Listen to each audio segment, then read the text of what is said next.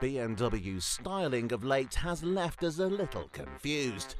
With each new model that's released, the distinctive kidney grilles seem to get bigger and bigger. We've already featured the new X7 and the 7 Series, both of which possess almighty pairs of nostrils. And while they certainly aren't to everybody's taste, they're big cars with imposing presence. Now though, BMW might finally have gone too far with this, the all-new 4 Series.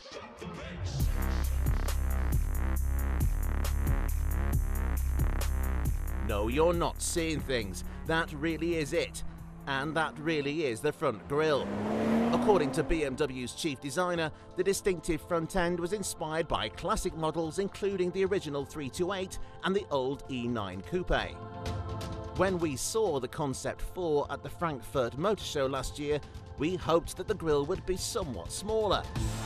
And it is, but only slightly.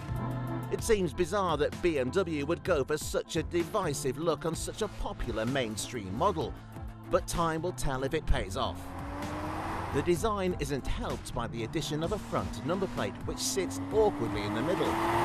As if the design team forgot that 99% of the markets it will be sold in require one. Inside the cabin, its 3 Series DNA becomes clear. It shares the same elegant dashboard and features all the tech available in the four-door car. The two screens, one on the dash and one in front of the driver, are bright and crisp, while the chunky three-spoke steering wheel is classic BMW. Unlike the 3 Series, the 4 is a strict four-seater, with two body-hugging seats in the rear bench. But this isn't a car bought for its practicality, which brings us back onto the styling.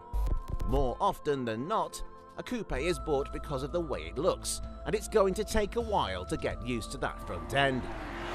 The usual array of 3 Series engines will be on offer though, with a new 48 volt hybrid setup on diesels and the range-topping M440i xDrive models. Prices will start at just under 40 grand for the entry-level cars, with a performance-focused M4 expected this year.